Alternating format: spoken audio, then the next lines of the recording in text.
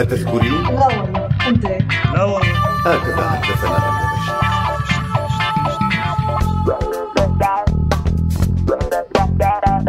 أتذكرين؟ ألف سردة وسردة معي أنا لقمان ديربي سوريا لي سوريا لك سوريا إلنا كلنا.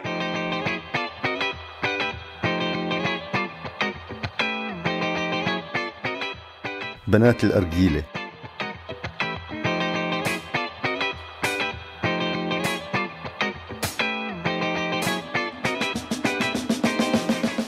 أنا فتاة سورية أبحث عن التميز والاختلاف. بحثت عن فكرة تظهرني بهذا المنظر فلم أفلح. نظرا لأن كل أفكار الاختلاف شوي صعبة.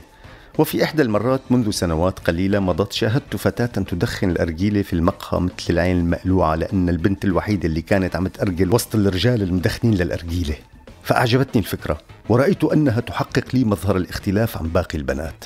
ترددت لفترة طويلة قبل أن أجازف وأطلب الأرجيلة.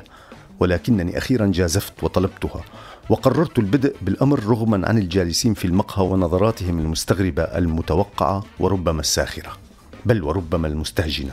وقلت في نفسي أنني لن أدخنها كما يدخنها الرجال. فهم دائما يقلبون خلقتهم أثناء تحضيرها ويحدقون شجرا في الجالسين أثناء عملية الشفط. أي أنهم يمارسون فن الزور مع الشفط والسحب وبعد ذلك إخراج الدخان من الفم والأنف والأذنين إذا أمكن باسترخاء وتحد. قررت أن أدخنها برواء من الأول وعندما سحبت السحبة الأولى تشردأت وسألت فنظر إلي الجالسون ساخرين مما أثار غضبي. فشربت الماء البارد وأعددت قواي الصدرية والمنخارية للحرب القادمة وشفطت الدخان وحبسته داخل صدري وأنا أرمق الجالسين بغضب.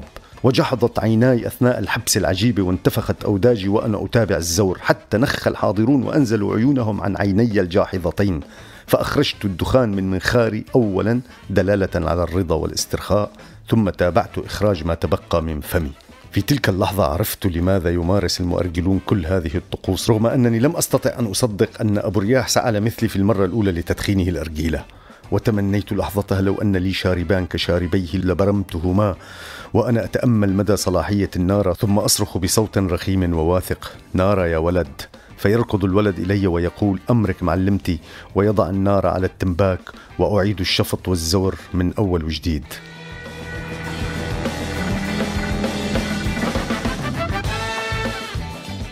ولكن الحلو مثل ما بيقولوا ما بيكمل.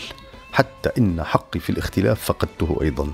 إذ أن المقاهي امتلأت بالفتيات المؤرجلات من أمثالي ولم أعد متفردة أو مختلفة. فكرت بطريقة أعود فيها مختلفة فلم أعثر على أي فكرة. جلست لأيام عديدة وأنا كئيبة ومحبطة. ترددت على المقهى لأيام لم أعد أطلب الأرجيلة فقد فقدت الحماسة تجاهها. بقيت هكذا في المقهى الوحيدة التي لا تؤرجل مثل العين المألوعة إلى أن جاءني صديق وجالسني. وبعد أن شربنا القهوة قال لي بتعرفي إنك مختلفة؟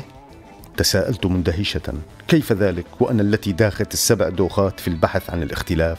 فأجاب أنت الوحيدة اللي ما بدخني أرجيلة.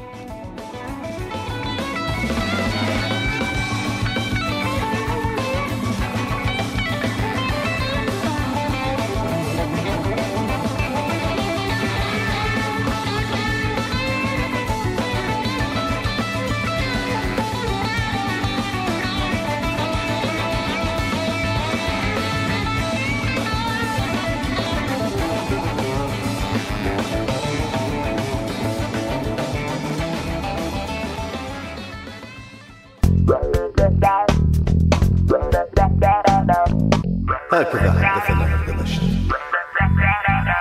كنتوا عم تسمعوا لقمان ديركي بألف سردة وسردة عهوا راديو سوريا. هذا البرنامج من إنتاج راديو سوريا ل 2015